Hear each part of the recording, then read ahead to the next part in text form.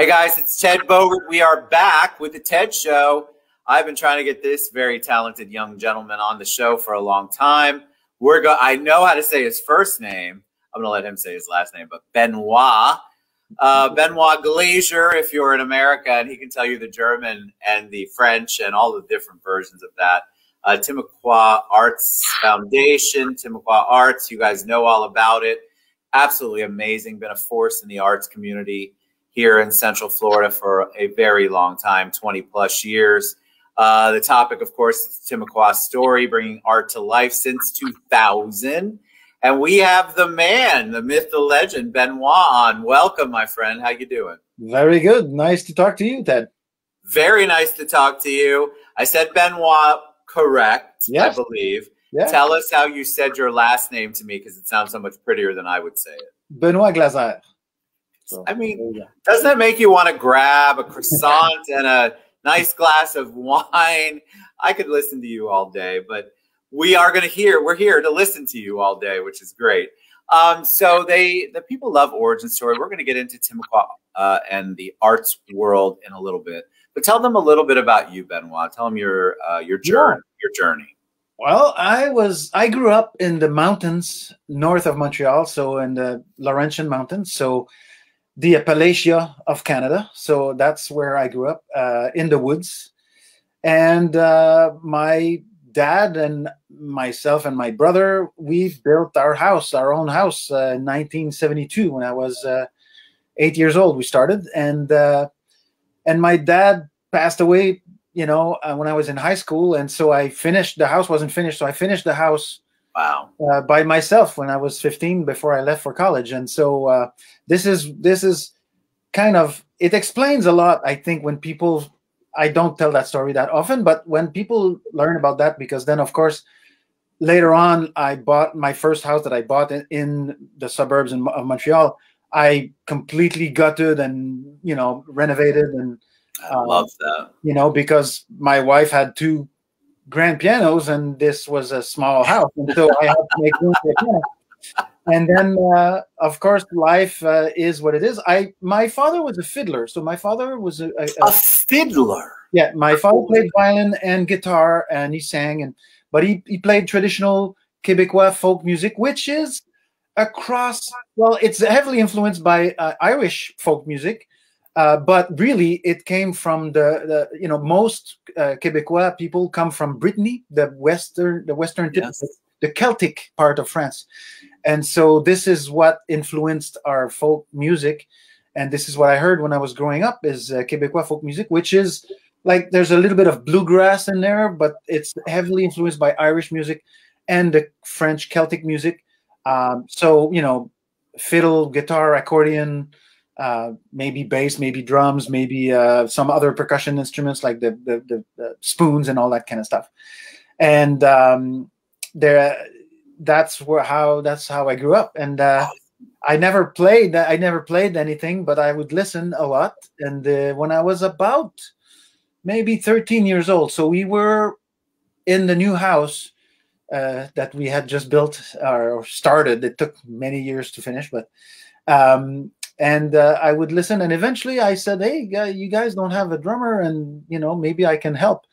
And uh, my, my father could not read music, so he almost literally at this instant grabbed me by the ear, shoved me in the car. We went to town, which the closest little, I mean, the big town for us, but little town.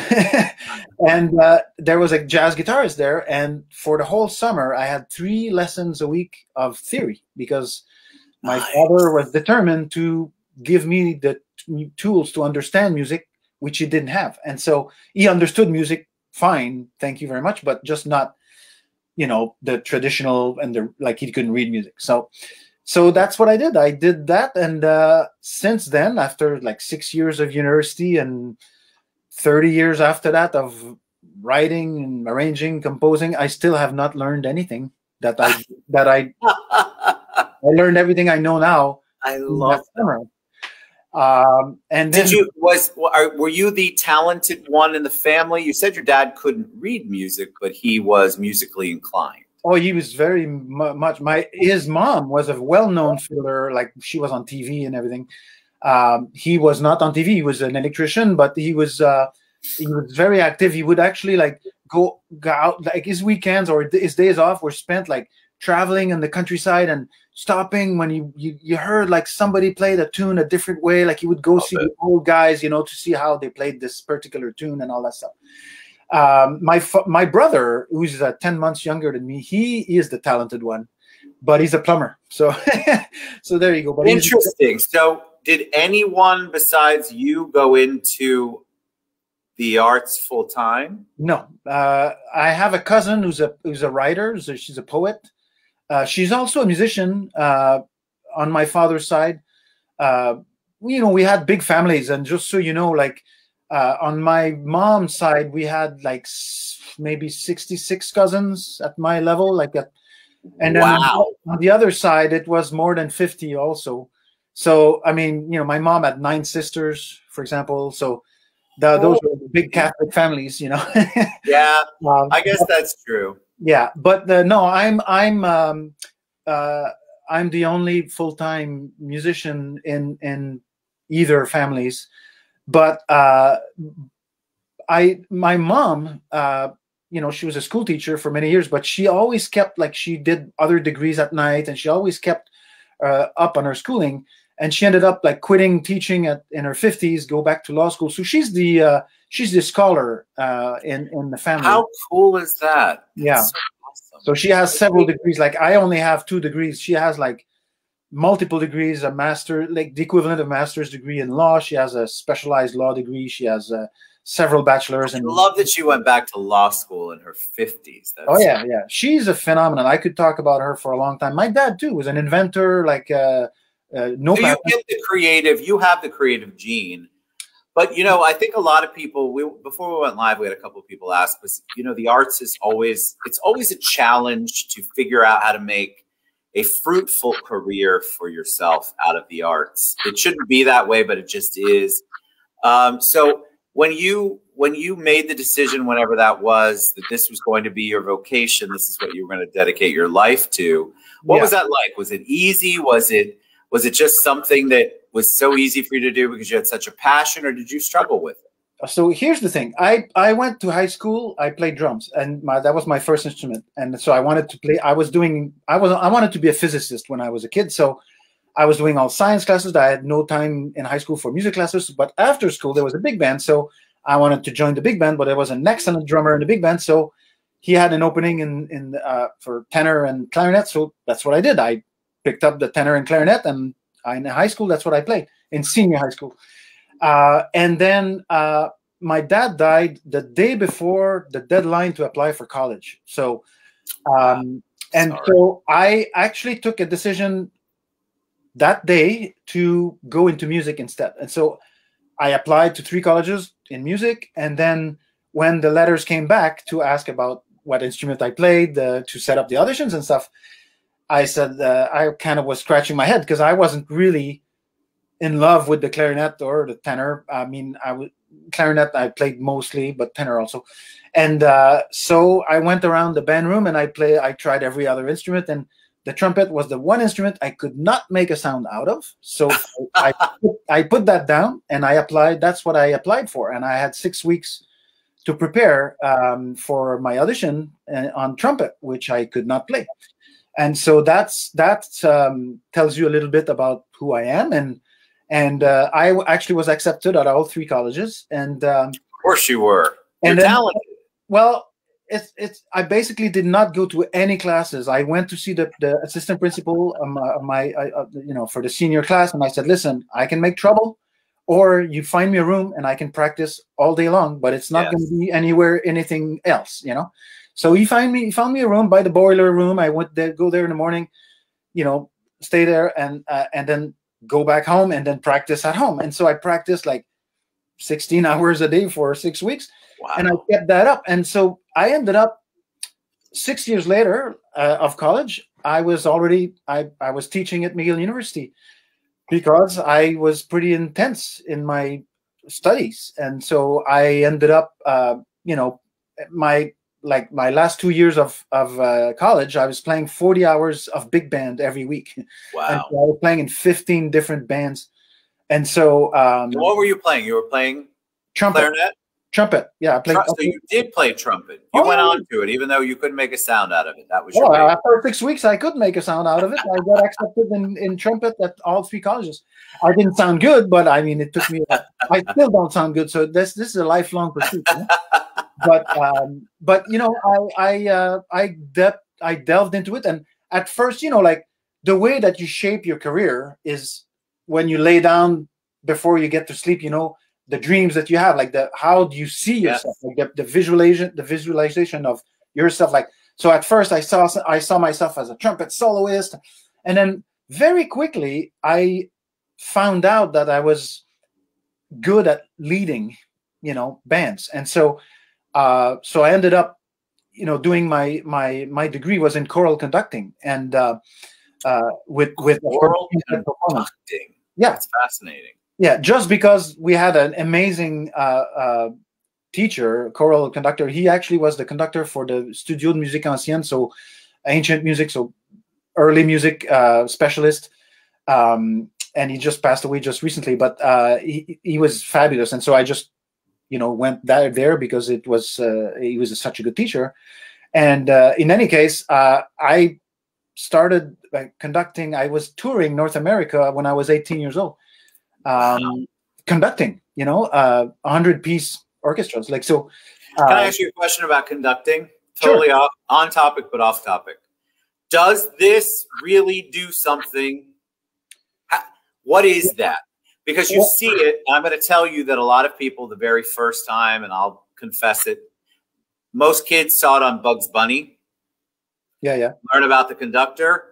Explain to us what goes on with that, because I've always wondered how that works. Does the does the uh, do all of the players, uh, everybody who's participating, they know to follow you, but don't they already know the song? How does that work? Well, here's the thing conducting that part is actually the 10th thing on the 10 that on, on the top of the top 10 10 list of what to do to be a good conductor.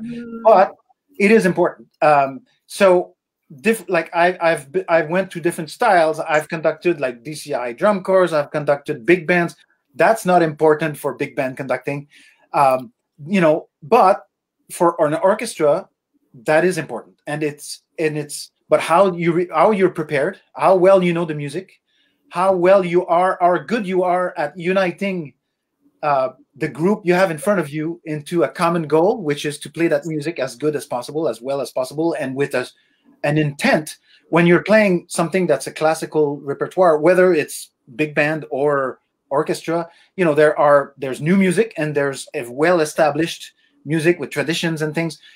How much you want to push those boundaries, uh, how much you want to influence your personal ideas and experience and um, feelings you have about that music, how much of uh, how passive you're going to be and let the, the, the group you have in front of you give you their contribution, or not passive but collaborative.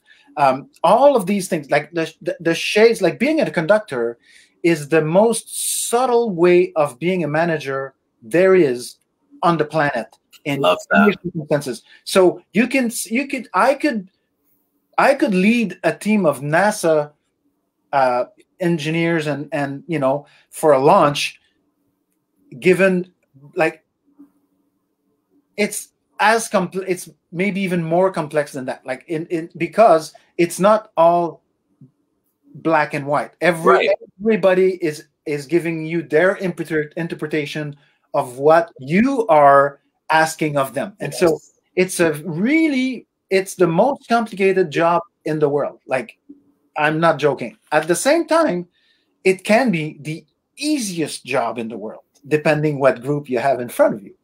And so if i if i if i conduct either my own music or uh, something that i'm that is part of me it i'm so intimately in tune with it and and um, that i know so well then and i and the group in front of me is like elite players and and all that stuff then all i have to do is just you know show them with my face with my my words in rehearsal um, what I'm looking for, and they give it to me right away, and it's a joy, and it's it's, it's the easiest thing in the world. Now, if you have a mixture of like incredible musicians and students, or you know, a community group where, with like incredible players and young or less advanced players or that kind of like it can be the hardest job in the world no matter what it is the most subtle way that you can like of that you can find to be a manager that's what you are when you're never thought about it as a manager that's, all right wait i've got to ask as we're beginning to already run out of time we haven't even talked about Timucua. so let's talk about Timucua. Uh, bringing art to life since 2000 tell people who don't know about Timucua what it is. So, well, what it is now. So it started at just one concert in in our house. That's what it started like as, and it was unassuming, a one time thing. What it has become is. I'm still here. I'm just watching. Yeah, yeah, yeah. Uh, what is now become? It is a. Hopefully, that's the goal, but that's what we're doing we work really hard to integrate several art forms together and to integrate uh, a new way of integrating the experience from the performers and the audience point of view. And so all of that. So integration is huge for us. Collaboration is huge. So we collaborate with the opera, with the ballet, with um, the Atlantic Center for the Arts, with uh, all kinds of like with Civic Minded Five, with the Central uh, Central Florida Composers Forum, with uh, uh CFC Arts, with the Central Florida Vocal Arts, with uh, Opera del Sol. Like I can. I love Josh. I love Teresa. And so we, yeah, so we collaborate with as many people as we can. Not to mention the colleges. We like everyone we have different levels of collaboration. And when you say collaborate, what happens there? Like, well, either we we help them with the venue or the facilities we have, because if you don't know, we like our a lot of our activities happen in in our venue, and our venue happens to be my living room because I designed and built a house in 2007. We moved in that has a hundred seat auditorium in it uh, over three floors and it's also a, a, a full fledged broadcast and recording studio. And so, because of that, for example, last fall, uh, everyone for college auditions, so high schools, for grad school auditions, so colleges, for opera auditions, so everyone, for musicians auditions who are trying to get a job uh, for an orchestra and all that stuff, they all came here to to do their odd video audition videos because we have the setup for that and it's a good hall with good acoustics and all that stuff. So, and we do, you know, normally pre-pandemic we would do like 80 events a year at the end, and um, we live stream everything. So now the pandemic hit, and we our pivot took one day. We from love it lockdown to the next day. The next day, I started broadcasting past events every day for two weeks, and then twice a week. So smart which I just stopped like a couple, a few weeks ago, three weeks ago, because now our events are back to like our schedule is kind of back to normal. We are at reduced capacity. We installed air filters like biocide air filters. Like we take safety very seriously, so we are only at 25% capacity right now. But you know, as people get vaccinated, we're going to ramp it up as it is safe to do so. Uh, our COVID protocol is relatively strong and relatively easy to implement because we're small and and and uh, flexible as an organization. So let, let me ask you really quick. Somebody asked um, on one of the other platforms.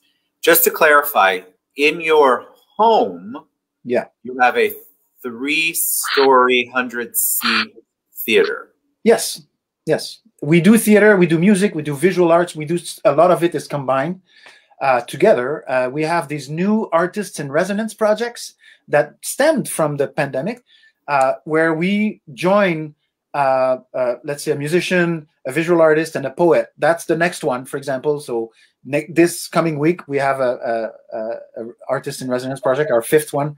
About every six weeks we have one of those. Uh, and for the first time, the final performance will be open to the public because we can do it now. So we do two shows, 7 p.m. and 8:30 p.m. and the live stream is good for both. Uh, whether it's free or a lot of our stuff is pay what you want, or it's ticketed with a fixed ticket price. Either way, the live stream is you know available for both shows.